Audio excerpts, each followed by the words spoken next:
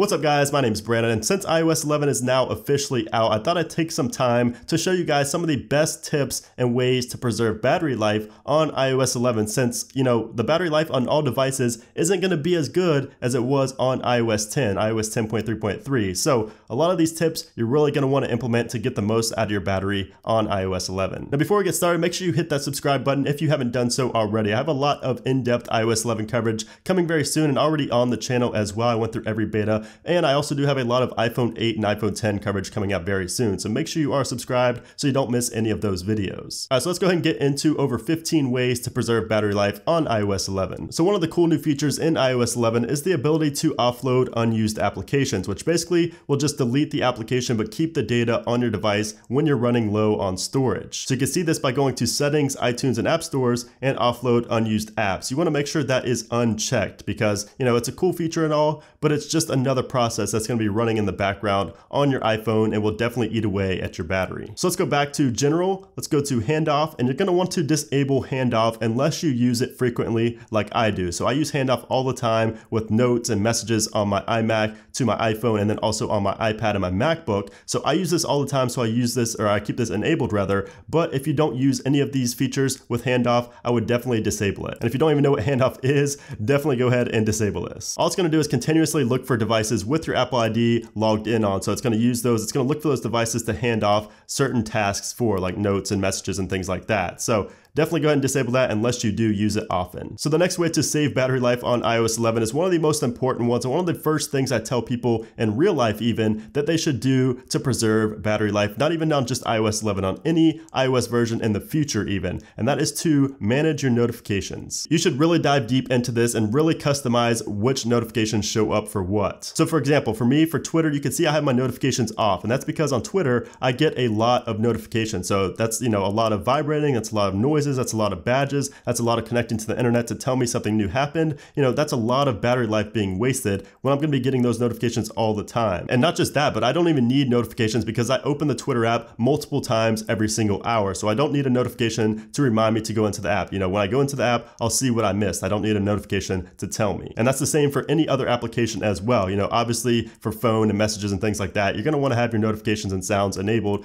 but you wanna go ahead in here and manage what you do and don't want notifications notifications coming through on. And one thing I really like to do on pretty much all applications, especially social media, is enable the badge app icon, but disable everything else. That way you don't get any kind of notification, you know, any kind of sound or vibration, but you get a badge app icon that shows you you have unread notifications. Again, this is the way to go for a lot of applications, at least for me. And I definitely recommend you guys just go in and at least customize a little bit. You know, like for games right here, I don't want any notifications from them. For FaceTime, I do want notifications for that. But you know, for different things like that, like home, I never use the HomeKit application, so I can just go ahead and disable uh, uh, notifications overall for that. You know, we can go down to news, disable notifications for that as well. You know, different applications. Everybody has applications on their device that they don't really need notifications for. You know, if it's like a game and they send you like a promo, you know, every once every month or something like that, you should go ahead and disable notifications because that little bit is going to add up and eat away at your battery. The next thing you should do is turn off AirDrop and Bluetooth. So if you go ahead and disable Bluetooth from the control center and iOS 11, that doesn't actually disable it. So if you go to settings, you're gonna notice that Bluetooth is actually still enabled. It's still turned on. It just disconnected from whatever it was connected to. So you wanna make sure you go in here and turn off Bluetooth if you're not gonna be connecting to any Bluetooth devices anytime soon. All it's gonna do is keep searching around in the background for a new Bluetooth device to connect to, and that of course is going to eat away at your battery. And it's the same with AirDrop as well. Go ahead and disable AirDrop if you do not use it. So if you go to settings, general, background app refresh, you're gonna wanna make sure that this is either turned completely off or while on Wi-Fi only. And I actually prefer Wi-Fi only because I like my apps to be uh, refreshed in the background, but only when I'm on Wi-Fi because that means I'm at home and I have access to a charger, you know, pretty easily. So if not though, you should definitely make sure you don't have Wi-Fi and cellular turned on. That's the only option I definitely recommend you do not have enabled for background app refresh. So if we go back, you can also disable this for certain applications as well. You know, all this is gonna do is just refresh the content in these applications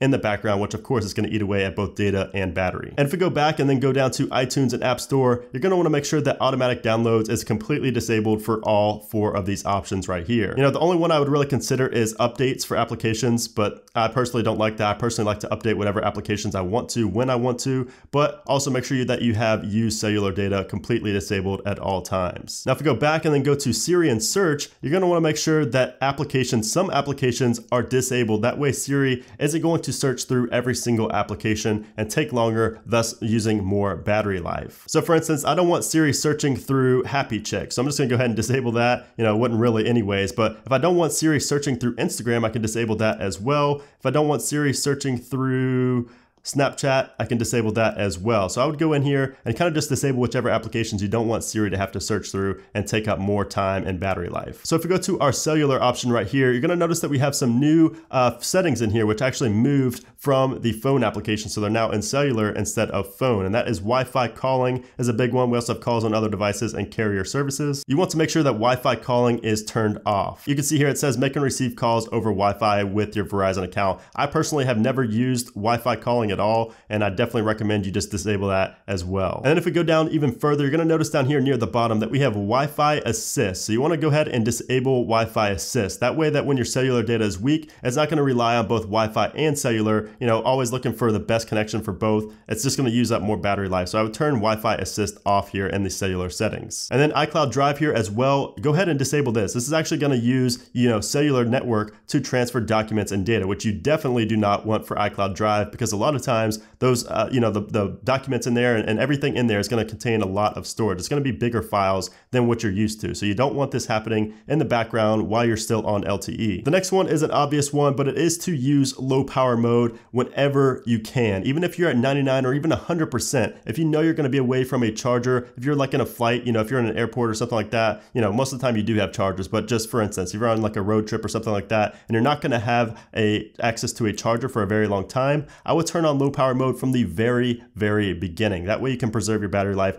as best as possible. So it is pretty annoying with the screen dimming and things like that, but it's something you're gonna have to use if you want to, you know, extend your battery life longer than normal. The next one is another very important one, and that is in the mail section right here. So in mail, if you have an account set up in your mail, you're gonna wanna make sure that fetch is turned off. Now you can see I don't have any accounts in here because this is not my daily driver, but you want to disable mail fetch and you wanna switch it to manual mode. That way your iPhone only checks for emails when you open up the mail application. I get a ton of emails and back in the day, this was actually the number one contributor to my battery draining. So definitely a must do if you do get a lot of emails. So if you go to privacy and then location services, you're gonna want to disable some of these settings here in system services. So personally, I always disable the product improvement settings right here, just because, you know, it's good for app developers and things like that, but it's just another process running in the background of your phone that does contribute to battery draining. You can also disable things like HomeKit if you don't use that, the compass if you don't use that ever, location based anything, you can disable that if you want, just so it's not always looking for your location. You can go into significant locations and turn that off if you want. I personally like this. A lot of people find it creepy, but I personally like this, but it does eat up some of your battery. So yeah, I would go into the system services here and just figure out which ones you don't use, which toggles you don't think you'll use and disable them just so it's not running any other kind of process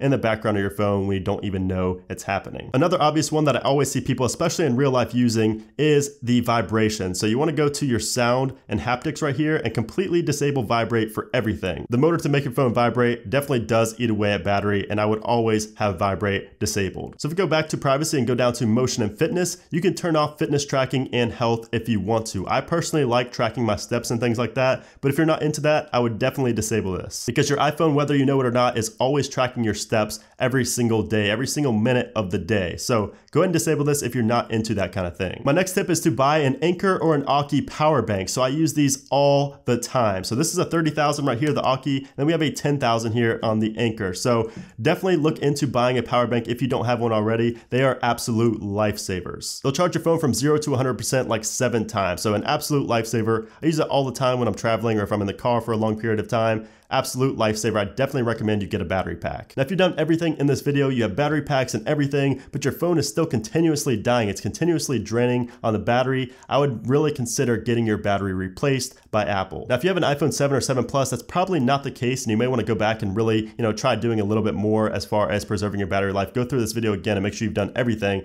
But if you have like a 6S or an SE and below, I would strongly consider at least going to Apple and see what they say about your battery because there's a good chance that your battery is a bad battery. It's been used too many times, too many cycles, it's been through too many cycles, you know, especially if you notice draining. If it goes from like 30% to like 10%, or if it goes from 30 to zero and then just dies, that probably means you have a bad battery. So there you have it guys. Those are some tips to preserve and save battery life on iOS 11. Hope you found this video useful. If you did, make sure to hit that like button. Also make sure to subscribe for a lot more content coming soon. Thanks again for watching guys, and I'll see you soon.